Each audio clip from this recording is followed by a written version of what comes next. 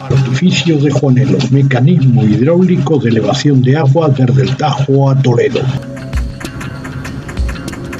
Entenderéis quién soy si acometéis a hacer otra obra igual a la que es esta. Juan Nelo Turriano.